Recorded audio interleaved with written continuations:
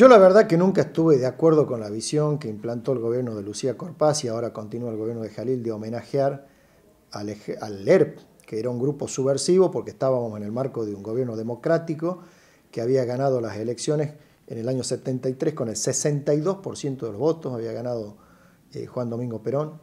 Y Juan Domingo Perón el 20 de enero del 74, cuando se produce el día anterior el intento de copamiento del regimiento de Azul, los condena al ejército revolucionario del pueblo y da un mensaje a través de la cadena nacional planteando de que va a defender a ultranza el sistema, la democracia, y que, bueno, obviamente repudiaba el intento de copamiento que había sido criminal, que habían utilizado los métodos más violentos y que no había ninguna razón para levantarse en armas en el marco de un gobierno democrático, porque en definitiva la Constitución dice que existe el derecho a levantarse en armas en la medida en que existe un gobierno que conculque los derechos democráticos y que se convierta en una dictadura. Pero en este caso no era así.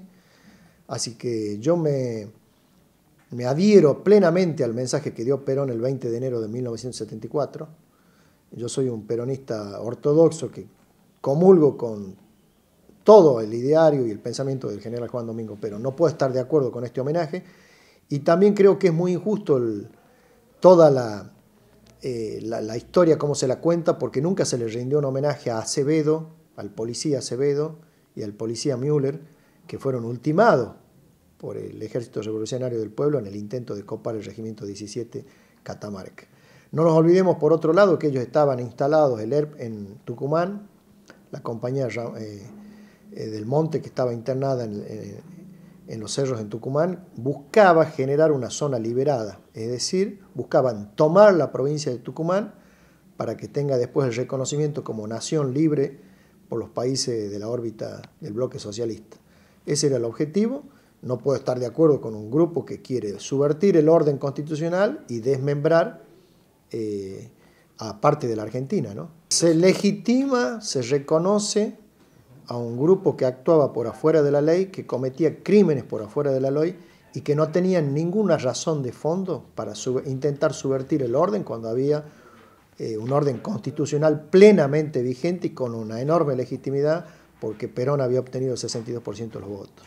O sea, acá hay grandes contradicciones. Alguna vez le hablé con algunos amigos míos que tuvieron padres que fueron funcionarios en ese momento.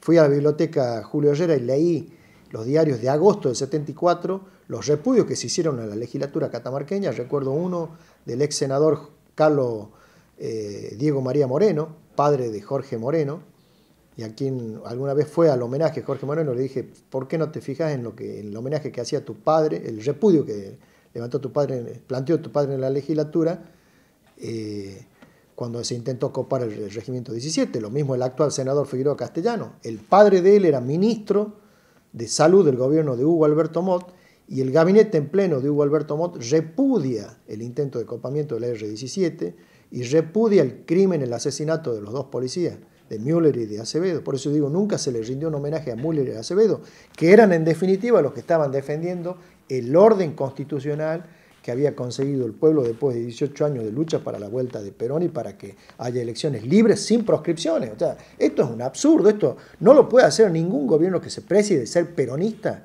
jamás puede reivindicar el intento de copamiento del R-17 porque en definitiva, al evocar esto, están reivindicando el intento de copamiento y están reivindicando a una fuerza guerrillera que cometía actos de terrorismo y que estaba al margen de la ley y que estaba intentando socavar el orden constitucional y que finalmente lo lograron, porque cuando se produce el golpe de Estado el 24 de marzo del 76, las razones y las causas que da la Junta Militar era esto, de que no tan solo el Regimiento 17, el de Villa María, el de Azul, después se produce el de Monte Chingolo, un intento de copamiento en Formosa, secuestros, crímenes y todo eso, hacen le dan las causas y las justificaciones a la Junta Militar para que tome el poder. Entonces, ¿quiénes han sido los desaparecidos durante la dictadura militar? Dirigentes de base sindical del peronismo, dirigentes estudiantiles del peronismo. Eh, ¿Quiénes han estado presos? ¿Quiénes han sido exiliados?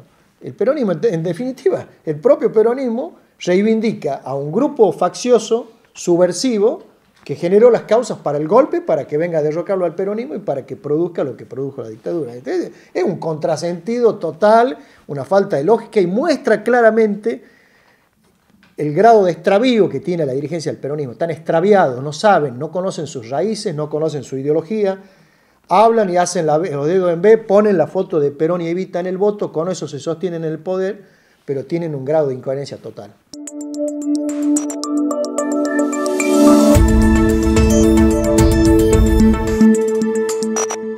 Con Farmar, en el mes de la niñez, vamos por más sonrisas felices. Vení a disfrutar de increíbles descuentos en 2x1, 80 y en más de 750 productos seleccionados. Unite a nuestro canal de WhatsApp y entérate todas las promos exclusivas que tenemos para vos. Farmar, los más bajos precios siempre. Argentinos, desde la cuna. Por eso en este mes de las infancias, haceles el mejor regalo con un préstamo en cuotas fijas o compra en comercios registrados con crédito argentino.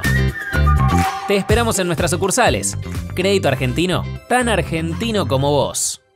Para el Día del Niño, Musimundea lo grande en nuestras sucursales y en musimundo.com. Aprovecha hasta un 20% de descuento y hasta 24 cuotas fijas con crédito Musimundo. Y empezá a pagar recién en septiembre. Musimundo, parte de tu mundo.